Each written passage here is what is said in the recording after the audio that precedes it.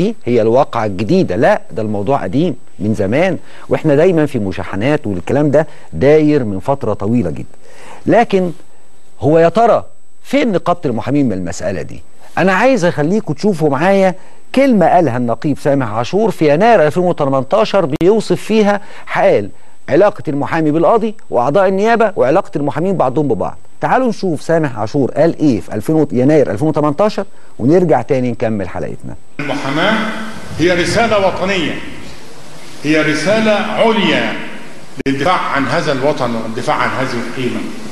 ما تركوش محامين ما تركوش الثورة ولا تركوا بلدهم في كل الخطوات وفي كل المراحل. كانوا يقدمون أنفسهم قرابين لهذا الوطن وللدفاع عن حقوقه وعن حرياته وعن دستوره وعن قوانينه.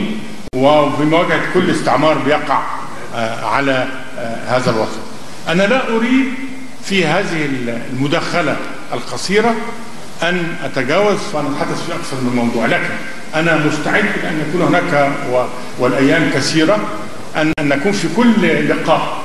موضوع جديد لمعنى المحاماة وعلاقة المحاماة بمن حولها علاقة المحامي بالمحامي. علاقة المحامي بالقاضي علاقة المحامي بعضو النيابة علاقة المحامي بضابط الشرطة ورجل الشرطة علاقة المحامي بالموظفين والجهاز الإداري بالمحكمة علاقة المحامي بخصمه وخصم وخصم موكله علاقته بالمحامي الذي يتولى الدفاع عن خصم موكله. كل هذه العلاقات المتشابكة علاقات المحامين بعضهم ببعض المحامين بأجيال مختلفة علاقتهم بالأجيال التي تعلوهم في الأقدمية وفي السن وفي الحضور وأيضا في الذين يصغرونهم في السن وفي الخبرة وفي الموضوع. من أجل أن نخرج سويا بقيمة حقيقية تؤكد أنه المحامين مستمرين. الكلام ده كان في يناير 2018 يعني تقريبا داخلين على سنة. ونقيب المحامين لسه بنتكلم لسه بنقول إنشأ. مفيش حاجة على الأرض حصلت بتقول إن المحامي والقاضي هتتحسن العلاقة بينهم.